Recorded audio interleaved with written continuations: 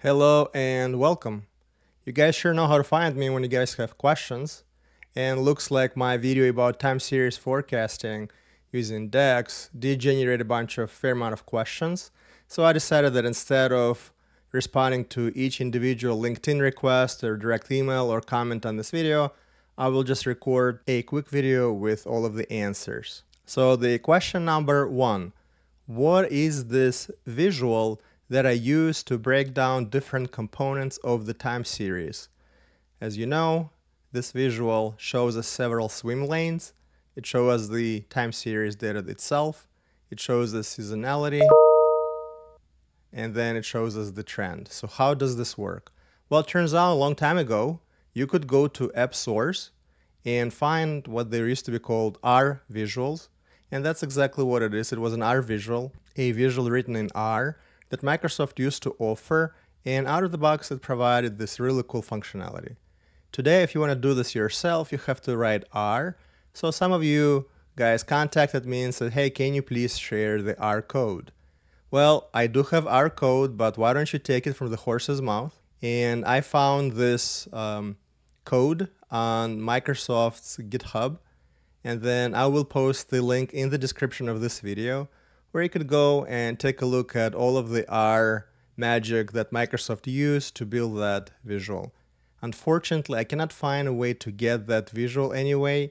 So if you go to assets here, you could get the PBIX file. There's a bunch of stuff in here, but I'm not seeing the visual itself uh, so that you could download and, load, and sideload it into your dashboard. However, the script.r file does have all of the pieces necessary to rebuild the logic. Now, this is super sophisticated. In many cases, you could go and write something that's much simpler, but if you have R expertise, this will definitely get you going. Now, the uh, next set of questions mainly focus on this measure that we wrote that's called sales forecast trend. A bunch of questions. For example, where does slope 1 come from, intercept? And then also, why are we looking at this week's count um, component of this calculation? So let's, why don't we take a look at this calculation overall and just walk through it step by step and try to make sense of it. The first thing that you will notice is that the editor, for some reason, does not like the slope 1 intercept measures or columns that I'm using in this calculation. So uh, this is some kind of limitations with the editor itself. Uh, I'm using the June version of the Power BI desktop. I do have a July version installed on another laptop, but actually that issue is not fixed. So even though this compiles just fine and calculation works just fine, for whatever reason, the editor still thinks and cannot understand where this comes from. So for now, you could just ignore that underline thing. And then once we look and start going through the code, you will see where these columns come from and why we're using them the way we are. Now, my assumption is that you already saw the first video, so you understand high level how the model is structured, what the date dimension looks like. So I'm going to skip those details you can go and watch the original video. I will put the link to the video in description of this one. So now let's just go step by step and try to understand how it works and what it's supposed to be doing. So as, as we can see, so I'm just using this DAX query view window to try to analyze our code. So basically what I did, I just took my measure, pasted it right in here, made a couple of changes just so that it doesn't break, and we're gonna go one step by step to figure out what's going on. So the first thing that we're doing is we're trying to figure out what year is the current year. And the way we define it is what is the max year that we can see in our visual. If I go back to my report and I look at this chart, so this is the chart that uses the default forecasting capability of the trend charts or line charts in Power BI. And this chart uses the measure that I created and you can see they're very similar. But in this case, because it's a measure, you have a lot of control over it. You can put it in any other visual. So that's the preferred approach, at least as far as I'm concerned. The question is, uh, what's the current year? And the way this logic will work is it's going to look at whatever time period I could see in the dashboard, and it's going to figure out that right now I'm looking at 2017.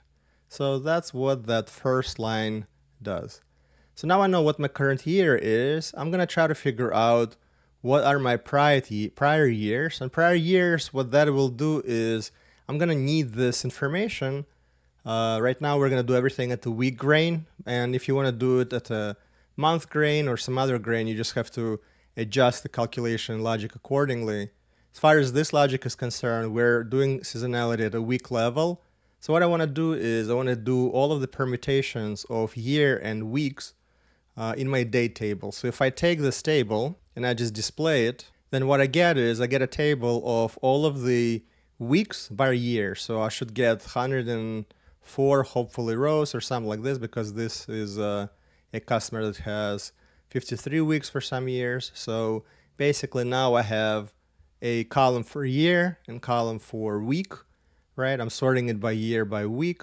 And all I do is I just I just start with with this table so that I can start enhancing it with additional data enrichment. So now that I have a list of year and, and, and weeks, the next thing what I'm going to do is I'm going to add revenue to it. And then I'm going to filter it just so that I see all of the weeks here that are already populated with revenue. So basically only show me the actuals. And why do I do this? Let's run this and then we'll take a look and try to understand what the logic is behind this. So I now um, I've just I've just taken my col my table with uh, weeks and years. I added revenue and I filtered for non-blank revenue, right? So now I have, if we look at this table now, and so I unfortunately I cannot enlarge the table itself. I can only make this font here larger. So what I get is I get a table now only for rows that are populated. So I have uh, week 1 through 52, 53 populated for 2016 and 10 weeks populated for 2017. So the first question is, why are we only looking at 17 and 16 if in our report we have many more years? And this is where the first kind of philosophical point of the calculation is. So we're trying to calculate the trend, and if I have a lot of years in my chart, then if I have my trend, you know, if I have a good year, bad year, good year again, you know, we're not trying to figure out, it's, it's hard to understand which trend of which year we're trying to catch. So by me saying, let's just go to the last year, what I'm saying is ignore this is a, the trend from the prior years. Just take a look at the current year and the prior year, right? So it's only gonna look at starting somewhere here. So from if I just look from January 16 all the way through through you know, whatever week 10 of 17 is, we see there's some sort of growth, hopefully. So I'm going to catch that trend and not the trend from 15 all the way through 17. So you have an option, and the way you do this is here you can specify how far back you want to go in order to calculate your trend. Uh, and the other thing what you might do is you might want to decide do you want to use the trend from the existing year in your factor that into your trend calculation or not. If you just want to use the trend from the prior year, then you say where that year is equal to current year minus one. I said, hey, let me take a look at prior year and however a few weeks from the current year, in which case I say greater than or uh, equal to current year minus one. So this way, this way, my trend will be prior year plus current year. So here, by, by playing around with this line here in this calculation, you could decide how far back you want to go do you want to include current year? Do you want to exclude the current year? So that, that magic happens here. Once you figured out how far back you want to go for the trend, then you want to find all of the relevant data points, and that's what this gives me. And now you can start figuring out the slope and intercept. Now, just to remind you, what are we trying to do? Because we're trying to calculate the trend, trend will be represented by a straight line, and line has a very specific equation, and that equation is, of course I messed up a little bit, y is equal to slope times x plus intercept. So in order for us to calculate our line, we need to know what our slope is, what our intercept is, and then if I pass the, the week number for x, I should be able to predict what my y or revenue will be. So how does this work? The way this works is we're using this function called line est line and what that will do is it will look at this table weekly data which is the table that we see here and it's gonna use revenue and week column which is this column and this column to try to figure out how to calculate the the slope So let's see what that looks like. I'm gonna paste the, the table name in my evaluate statement and uh, we're not gonna order it by anything, so let me comment that out. And if I run it, you see that this function, so the function line generates a table back. So in that table, we have a bunch of different columns. So this video is not gonna go deep into how the function works. There's a bunch of videos out there on how the function works, or you can just look up the documentation, it's very well documented. What's important is for our calculation, it's giving me the slope. Now, for whatever reason, they're calling it slope 1, maybe it's a reserved keyword, and it's giving me the intercept.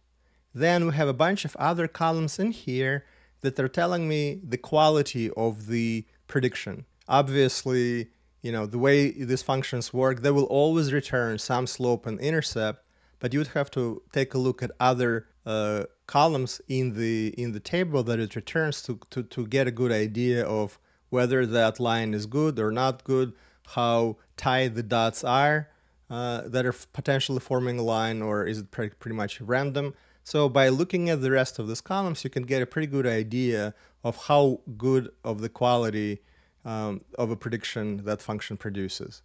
So now that I have run the I've I've run this line LINESTX function, and that produced this table. That table lives in a table that I call stats.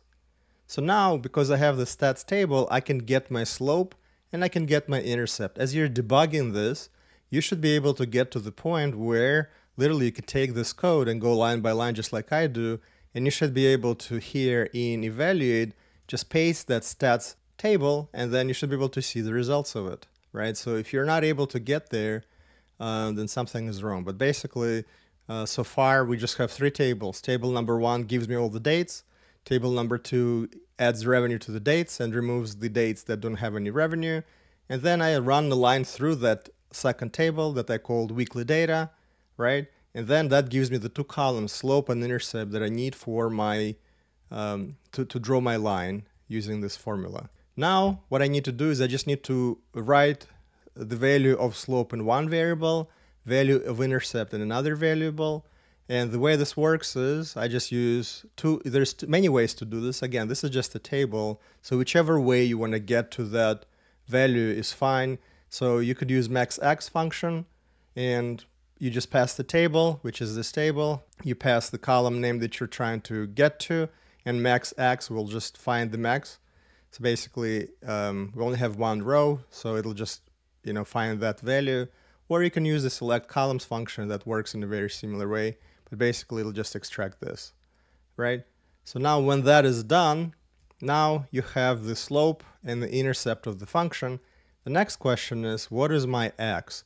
And that's where I think I messed up, so maybe let's try to fix this together. So basically, the way I assumed is that when we do weeks count, that's going to give me how many weeks of data do I have. And then the question is, what is my X, right? So when in my in my report, if you look at how this chart is done, I'm passing a week start date, and a week start date will have a week number attached to it, right? So here, if I mouse over, you will see that my week is 10, right? So I have data for week number 10, and if I traverse back, then you can see how this number changes. And then it goes back to 52, 51, blah, blah, blah. Right, so this is just a numeric uh, week number. So where I think I have a slight miscalculation and you guys will need to fix, or if I have time, I'll fix it right now. Um, logic is the following. So when I have a week number, I want to start, I want to add all of the prior weeks and then uh, adjust my starting point for all of the prior weeks. So if I pass one, to this function, I'm not starting on week one. I'm starting plus on all of the weeks from prior year, plus all of the weeks from current year that have data, and then plus whatever the plus one, right? So the way I, and I think I'm pretty sure this is a bug, what I've done is I'm saying, hey, just add the week count or number of number of data points at the week level prior to the current week so that I'm so that I'm starting at the higher value, right? But I don't think this is work. This is gonna work very well because if I'm at week 20, right? So I have 52 weeks for the current year, and I have 19 from the sorry 52 weeks from the prior year, 19 from the current year, And if I'm on week 20 there, what I want to do is 52 plus 19 plus 1. So technically the way this should be, this should work is I should just have 52 here, right? And what this will do is it's going to say, okay, take all of the weeks from the prior year and then start with the new year, right? So don't look at all of the actuals for this year. So now if I'm in week 10, it's, it's going to start me at a data point of 50, 62, right? If I'm at week one, it's going to start me at a data point 53, right? Because I'm running the line from the from the beginning of my data set, which is going to be week one of 2016 in our case. And if I'm trying to do analysis for 17, I'm not starting at one, I'm starting at 53, 54, something like this, right? So the right calculation should be um, slope times week plus 52 plus intercept. So I'm not a fan of 52. Basically, you'd want to clean it up and make sure that you know you're, just looking at number of weeks in the prior year, right? So it should be 52, but you know depending on how your data is laid out, could be. So this is a little sloppy, but for the purposes of this video, I think it it's going to answer the questions um, that you guys have asked. Basically, why we're not starting from from the week number, why we need to add something to it. So hopefully, uh, I uh, I did a pretty good job explaining why why we need to add the history because we're not starting week because the way week number is generated, it gets repeated every year, right? So instead of starting one to three, one to three, one to three, we want to bump it up by a number of weeks in the prior year. So hopefully that answered all of the questions that you guys had about how to do a trend calculation and time series analysis in DAX using Power BI.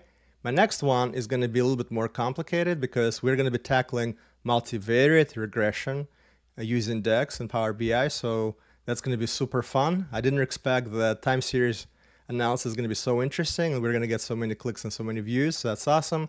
So we're going to get it even more interesting and more sophisticated. So I'm looking forward to share this, uh, this, this logic with you in a subsequent video.